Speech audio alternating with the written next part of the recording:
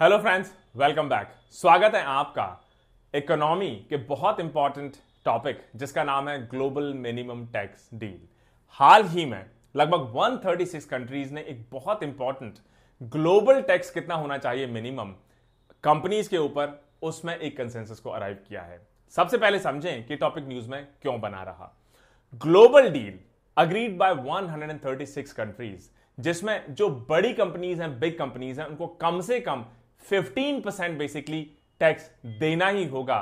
चाहे वो किसी भी कंट्री में ऑपरेट करती हूँ, चाहे वो किसी भी कंट्री में उन प्रॉफिट्स को बुक करती हूँ या खुद रजिस्टर्ड हूँ।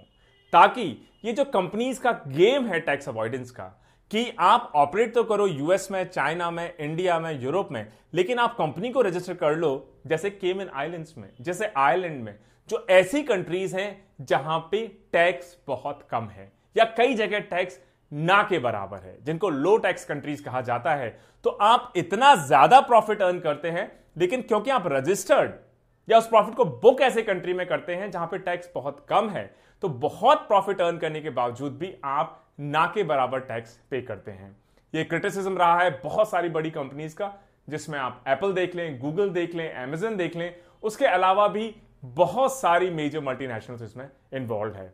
कंपनीज़ का कहना है कि जब आपने रूल बनाए हुए हैं कि लो टैक्स कंट्रीज़ हैं तो हमारे पास जब वो ऑप्शन अवेलेबल है तो क्यों हम अपने टैक्स बचाने के लिए वहाँ पे अपने आप को रजिस्टर ना करें या फिर हम अपने प्रॉफिट्स को वहाँ पर बुक ना करें? तो मुझे लगता है कि जो लूप होल रहा कि हर कंट्री अपने कंट्री का तो टैक्सेशन सिस्टम बना सकती है, अपना टैक्स रेट डिसाइड कर सकती है, लेकिन दूसरे कंट्री पे उसका कोई इंफ्लुएंस नहीं है। और ये जो टैक्स कंपटिटिवनेस है टैक्स प्रतिस्पर्धा है कि अगर आपने 30 परसेंट रखा तो कंपनी, दूसरा कंट्री कहेगा उस कंपनी से कि आप अगर वहाँ इन्वेस्ट करेंगे कंट्री ए में तो आपको 30 परसेंट टैक्स देना पड़ेगा कॉर्पोरेट टैक्स आप हमारे यहाँ इन्वेस्ट करिए, हमारे यहाँ सिर्फ़ आपको 20 परसेंट ही देना पड़ेगा। और इन दोनों को अंडर कट करने के लिए तीसरा सी कंट्री कहेगा कि आप 20 परसेंट भी मत दीजिए, हम तो सिर्फ़ 10 परसेंट में ही आपको अपनी कंपनी स्टैब्लिश करने देंगे। तो कंपनी ऑप्शंस देखेगी। देखेगी मुझे क्या फ़र्क पड़ता है कि मैं ए जगह अपने आप को रजिस्टर करूँ बी करूँ या सी करूँ। जब सी में मुझे सिर्फ़ 10 परसेंट टैक्स देना है तो क्यों ना मैं सी में अपने आप को रजिस्टर करूँ? हो सकता है आपका जो मेजर बिज़नेस हो, वो कंट्री ए और कंट्री बी में हो। तो जो कंट्री ए और कंट्री बी कहते हैं कि बिज़नेस आप हमारे यहाँ कर रहे हो, हमारे कस्टमर से आप प्रॉफिट अर्न कर रहे हो, लेकिन वो सारा प्रॉफिट आप ले जा रहे हो कंट्री सी जो कि एक छोटा सा आइलैंड किसी सी के बीच में है, जहाँ पे शायद छोटी सी पॉपुलेशन हो, क्योंकि वहाँ का टैक्स लॉज बहुत सिंपल है या लो टैक्सेशन वो कंट्रीज़ हैं। इस इशू को प्लग करते हुए फाइनली अब ग्लोबल टैक्स का 15 परसेंट कि चाहे आप country A country B country C country D country E कोई भी कंट्री अक्रॉस दिस 136 कंट्रीज़ अगर आप रजिस्टर्ड होंगे तो कम से कम आपको वन फाइव या फिफ्टीन परसेंट टैक्स आपको देना ही होगा, दोस्तों। ये जो अग्रीमेंट हुआ 136 कंट्रीज़ का, ये बेसिकली अनाउंस किया organisation for economic cooperation and development जिसको ओईसीडी भी कहा जाता है। जो ओईसीडी ने कहा कि सिर्फ़ चार कंट्रीज़ जिसमें केनिया नाइजीरिया हमारा दोस्त पाकिस्तान और श्रीलंका इन्होंने अभी तक इस ग्लोबल टैक्स अग्रीमेंट को साइन नहीं किया है। लेकिन द गुड न्यूज़ इज़ कि वर्ल्ड के ग्लोबल इकोनॉमी के जो 90 परसेंट कंट्रीज़ हैं, उन्होंने इस ग्लोबल टैक्स अग्रीमेंट को साइन कर लिया है दोस्तों। अच्छा क्या है ग्लोबल मिनिमम टैक्स और क्यों इसकी अब ज़रूरत महसूस हुई सभी को? जब कोरोना 19 ने हिट किया इकोनॉमिक एक्टिविटीज़ बंद हो गई शटडाउन हो गए लॉकडाउन हो गए तो गवर्नमेंट के पास अर्निंग के सोर्सेस कम हो गए। लेकिन गवर्नमेंट ये देखती रही कि हमें तो बेसिकली टैक्स मिलना कम हो गया, हमें अब पैसा चाहिए ताकि हम पैंडेमिक रिस्पॉन्स में इन्वेस्ट कर सके जॉब एम्प्लॉयमेंट क्रिएट करने में कर सके इकोनॉमी को आगे बढ़ाने में इन्वेस्ट कर सके, लेकिन हमारे पास टैक्सेशन बड़े बड़े कंपनी से नहीं आ रहा है। हालाँकि ऐसा नहीं कि वो कंपनीज़ खुद बेसिकली प्रॉफिट नहीं कमा रही हैं।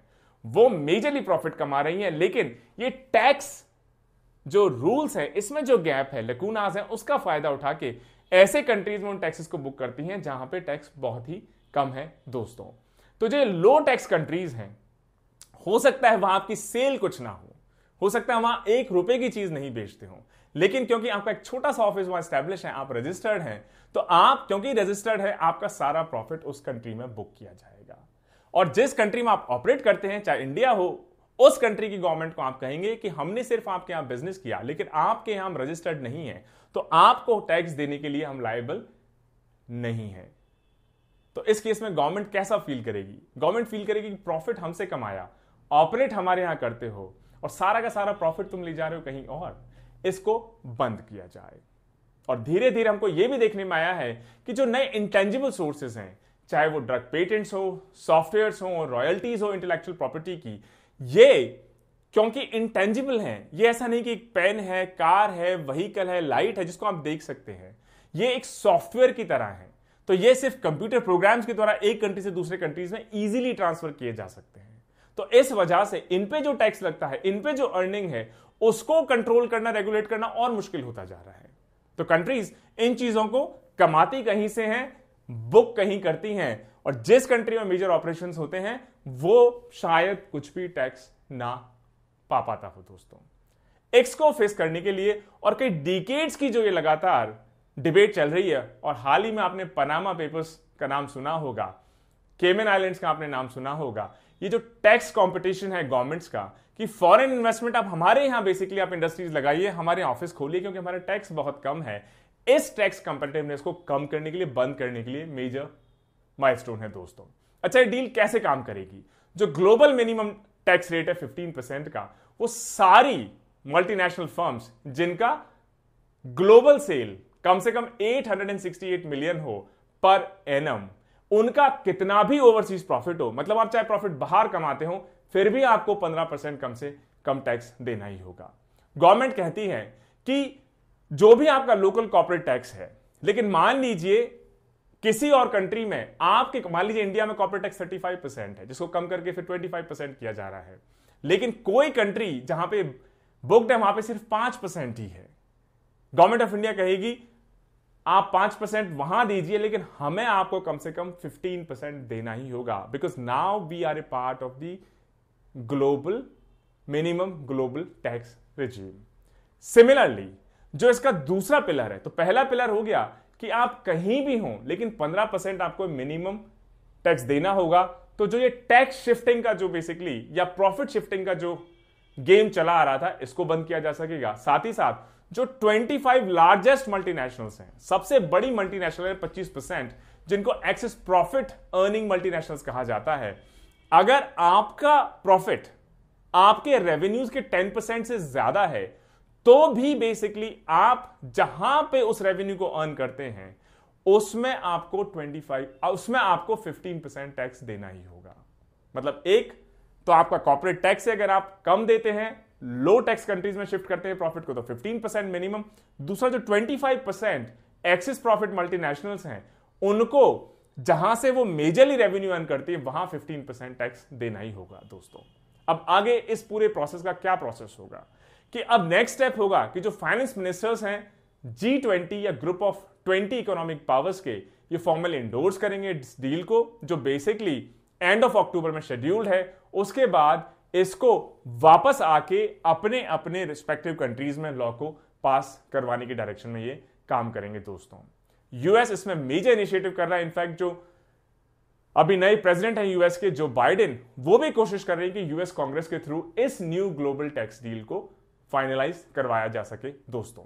तो सारे कंट्रीज़ की, या 136 मेंबर कंट्रीज़ की कोशिश है कि 2022 या 2023 तक हर हाल में ये जो ग्लोबल मिनिमम टैक्स डील है, इसको इफेक्टिवली ग्लोबली बेसिकली अप्लाई करवाया जा सके। ताकि जो कंट्रीज़ हैं, इन लूप होल्स का अब फ़ायदा ना उठा सकें, जिन कंट्रीज़ में रियल में ऑपरेट कर रहे हैं, वो उस टैक्स को ले सकें, ताकि अपने डेवलपमेंट में, अपने सोशल सेक्टर में, अपनी इकोनॉमी को बढ़ाने के लिए, अपने एम्प्लॉयमेंट जनरेशन के लिए उस टैक्स को गवर्नमेंट यूटिलाइज कर सके, दोस्तों। इसका इकोनॉमिक इंपैक्ट क्या होगा? तो ओईसीडी के हिसाब से 136 कंट्रीज़ जो 90 percent of global economy control करते हैं जो उसके मेंबर्स हैं उनको एडिशनली हर साल रफली 150 बिलियन डॉलर्स का टैक्स इससे एडिशनल मिलेगा दोस्तों। इसके अलावा जो टैक्सिंग राइट्स हैं 125 बिलियन डॉलर्स ऑफ़ प्रॉफिट जो कि शिफ्ट कर दिए जाते थे लो टैक्स कंट्रीज़ को अब उस शिफ्ट को कर, करने को इन कंपनीज़ के पास कोई इंसेंटिव नहीं रहेगा। तो जब वो कहेंगे केमेन आइलैंड में मुझे पंद्रह परसेंट तो टैक्स देना पड़ेगा, चाहे मैं केमेन आइलैंड चला जाऊँ, चाहे मैं पनामा चला जाऊँ, चाहे मैं आइलैंड चला जाऊँ तो क्यों ना फिर मैं इंडिया में ही वो टैक्स चुका दूँ? तो ये एक मेजर माइलस्टोन होगा इस पूरी डील का। तो जो मल्टीनेशनल कंट्रीज़ हैं, ये जहाँ इनका हेडक्वार्टर है, जहाँ ये ऑपरेट कर रहे हैं, वहीं पे उस टैक्स को रिपैट्रिएट करें, उसमें एक बड़ा बूस्टअप होगा दोस्तों।